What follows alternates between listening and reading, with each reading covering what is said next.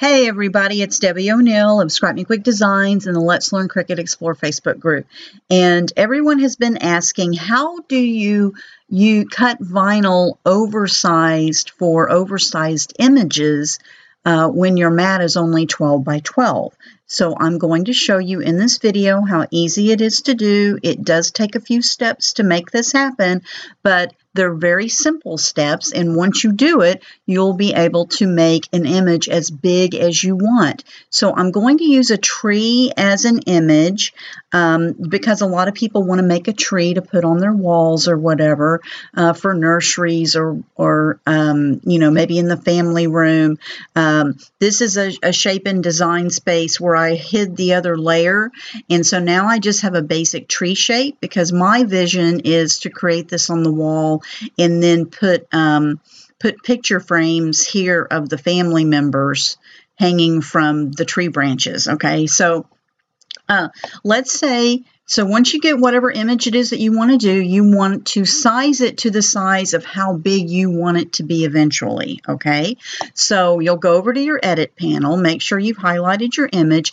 Now you want to do this with just one image layer, okay? Because we're going to be using the slice feature and you want to be able to have uh, just one layer. If you need to do two layer images, you're going to have to slice that second layer separately from slicing the one layer, okay? So we're going to uh, do the tree and I'm going to go over to my edit panel. I'm going to hit edit and I'm going to go look at height because I want to keep this proportionate. So I'm going to go to height and let's say I want this to be, um, I don't know, three feet tall. So I'm going to do 36 inches because we're looking at height in inches. So now I have a ginormous tree that you can't even see on my screen, right? But that's when it comes to down here where our zoom feature is. You want to hit zoom until you get that tree to a spot where you feel like you can uh, manage it on your mat, okay? so you can see the whole image, basically, is what you want to do. Okay, now the next thing you need to do is you need to go into Insert Shapes, and we're going to pick a square. And we want to grab that square. I'm just going to move it over here. And then we know that our Cricut mat will cut um, a complete out to 11 and a half by 11 and a half. So what we want to do is I'm going to go ahead and just make these mats, these squares 11 inches. Okay, that way I know that I've got a good image and I've got a little bit of excess vinyl when I slice this on vinyl, or you can do it on paper too if you want. But um, you want this to be manageable for when you go to take put your transfer tape over it and take the vinyl off after you've weeded it and to put it up on the wall. So I'm going to do it in 11, 11 by 11 sheets, okay? So that way you'd be able to put uh, your uh, transfer tape over this very easily because they come in 12 foot 12 inch wide rolls generally. Um, anyway, okay, so we've got one, but I need to make more than one. So I'm just going to go over to layers and down at layers, I'm going to do duplicate and I, I'm going to just say I probably need eight of these. So one, two, three, I'm just clicking four, five, six, seven, eight. Okay, so now I have eight of them set up here so I can just grab them easily. I just kind of guessed how many you could always make more if you want. But all you need to do, let me move this back over here. All right, so I have it up here in the corner. So basically all you need to do is go up and start and lay the first one in and make sure it's covering the edge of your images, okay? And um, then you want to click on the whole on the main image. Click on the box first sorry. Then do control and click on the whole image. And now in the layers panel the slice will come up. So I'm just going to slice it. And this you have to think of this as being like a puzzle okay? So you're going to pull a piece away and the black piece is the piece that we want to keep, okay? So here is our tree. Okay, and I want to just move the black piece. So I'm going to grab it and move that off. I don't need it, so I'm going to delete it.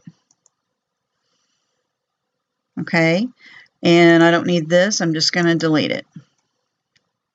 Okay, now you're going to do that same thing with each of the pieces. I'm going to move this to the front. You can do it either way, but I like to do it to the front so I can make sure where I've got my images.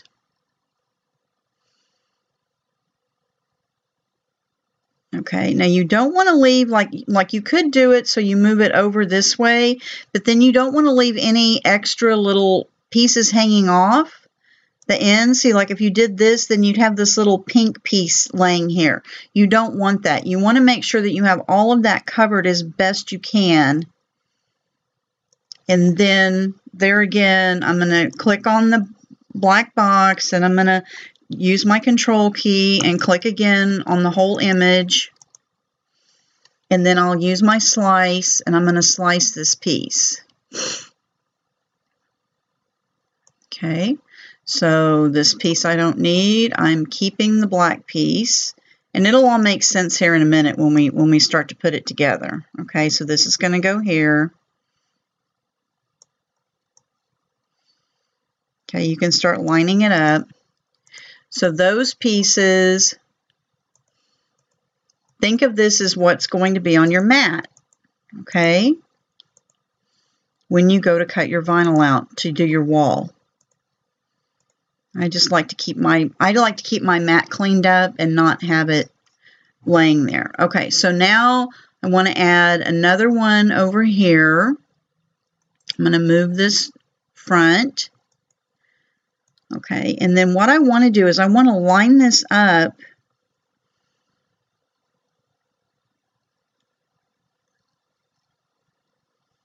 We can pull it down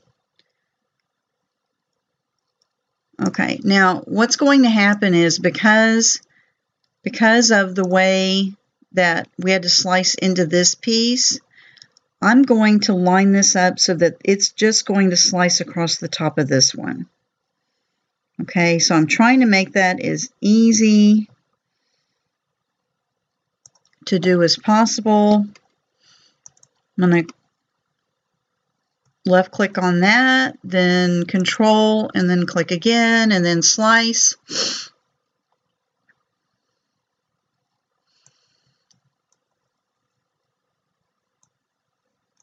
Okay, and there is my black piece for this, and we'll come down here and match this up in a minute.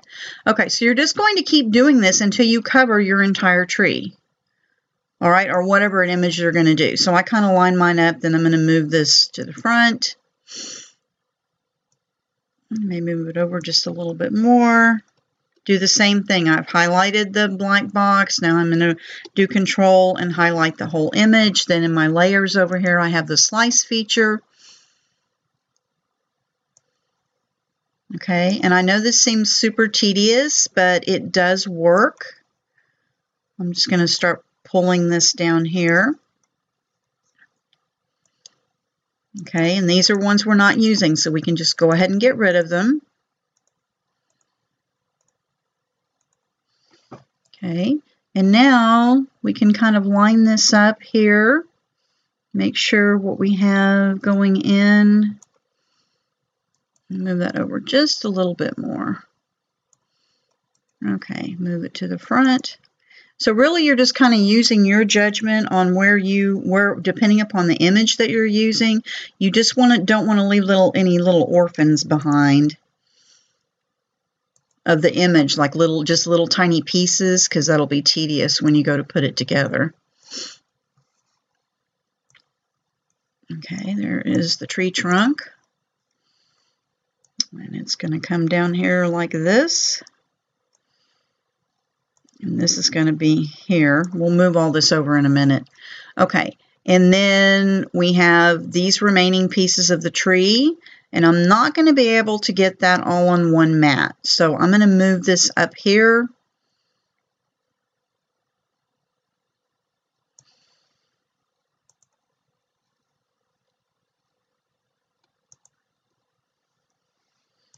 slice.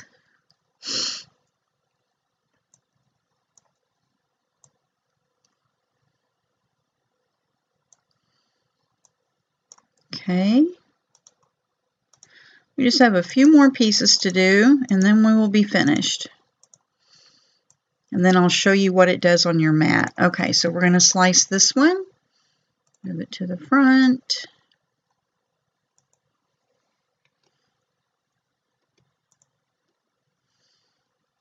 Same thing, I'm just repeating each step as I do it. I'm taking my time, I'm not rushing because I don't want to make any big mistakes and mess it up. But as you can see, it's very easy to do it. It's just a little tedious to get it all done correctly. Okay, so that's going to go there. Okay, now we need to do the tree.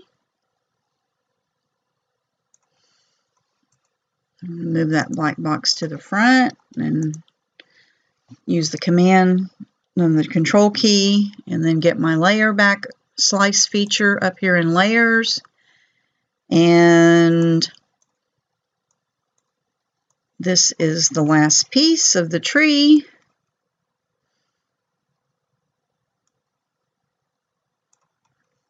Okay. And then this piece does not need to be sliced because it will fit. We, I can show you. So this piece will fit on this, okay? So I don't have to slice it. So it's just going to be the last piece. So I can come in here and move all of this. And of course, you know, you can, you're going to line this up a little bit better when you're applying it on the wall, but you get the general gist of you just match up the pieces like a puzzle. Okay, and then I can do select all, and attach it so that I can move it all up as one piece onto my mat.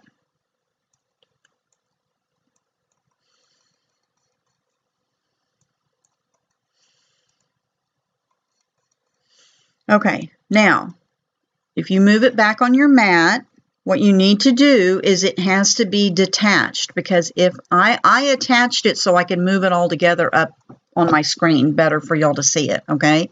But I want to detach it because if I hit, in fact, I'll just show you. If I've attached it to move it on my mat, when I hit go, it's going to come up and give me an error message that says this image is too large to fit on a mat, okay?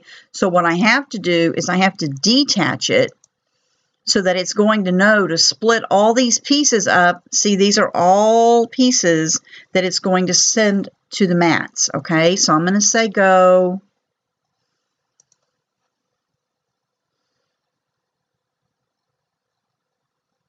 And you'll see that it has now split all of those onto various mats for you. Okay, so you'd be able to cut cut out your mat, put your transfer tape on it. Now, a couple of these, what it did was it tried to preserve your image and use as less vinyl as it could. Let's say you're cutting it out of vinyl. And so um, you would put transfer tape on part, weed, weed the whole thing, then put transfer tape on the separate images here so that you would have two pieces on transfer tape, two different pieces on two different trans pieces of transfer tape, okay? Because this little piece fits on your tree in a different spot, okay? So you can go back to your image as you're applying it to the wall so you know which pieces go where, and you can see the little lines. It's probably hard. Let me do this. Let me make it cream color so it'll be easier to see where the distinctions are. And I'm going to come over here in my sync panel and I'm just going to move all of these pieces up so every, everybody's on the same and it's just a little easier for you to see where the divisions are. Okay, but now you can kind of see where you have sliced and diced this. Okay, and now you know that your tree goes together in this order. All right, so you can use your, you know, take a screenshot of this and put it on your phone or something if you wanted to.